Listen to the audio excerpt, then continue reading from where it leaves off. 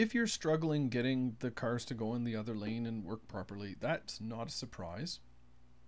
There's a number of possible things that can go wrong when you duplicate these vehicles. So first of all, I'm going to right click and choose duplicate. And so this should be the one here. And the first thing I'm going to do, just because I'm me, is I'm going to change the colors so that it's really obvious which vehicle we are looking at. There we go. Okay, so now we've got our three vehicles and right away I know that I want this vehicle to be in this location. So this X value or Y value, sorry, is 62. I can also see up here that it says 62. So I'm going to take out the negative 25 and type in 62 and take out this negative 25 and type in 62. Okay?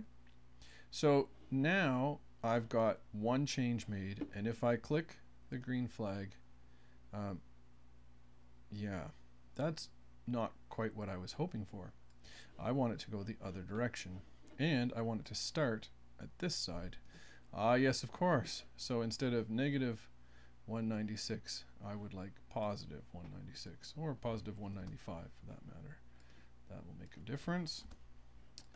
Now let's try this again. Okay, so now it's just kind of here doing the uh, costume dance, I guess we'll call it.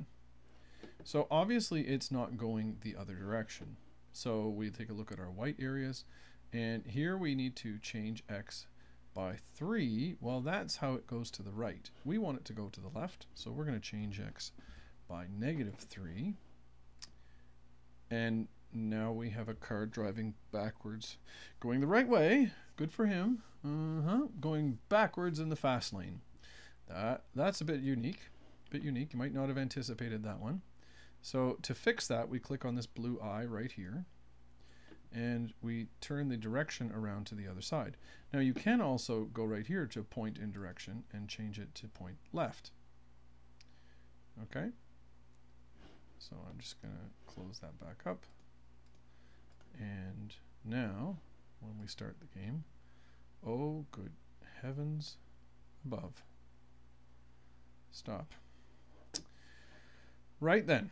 Um, so what this means with the upside down car that we have is that our rotation style here is not set quite right. So choose the correct vehicle, click on the blue eye, and then change your rotation style to be this back and forth arrow. And now when we run it, phew, okay, that was pretty wild there for a second, but now we're good to go. So do you think you could handle making the slow lane one yourself?